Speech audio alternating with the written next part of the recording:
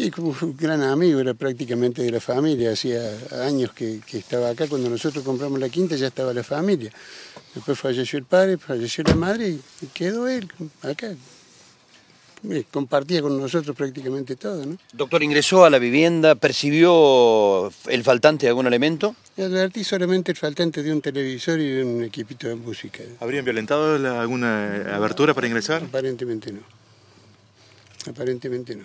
¿Qué habrán buscado? ¿Algún dinero? ¿Algo que pueda... Puedo decir lo que busca, pero acá no hay nada, o sea, que no, no hay ni elemento de valor. No hay, ¿Mucho robo han sufrido en este lugar? Eh, hace muchos años tuvimos uno, un hecho que robaron unos colchones, unas zapatillas, unas mallas, unas cosas sin, sin mayor importancia. Y en esa oportunidad hicieron más daño que, que lo que llevaron. ¿Cómo recuerda a Luján usted? Era un gran amigo, era un gran un muchacho de trabajo, una persona muy correcta.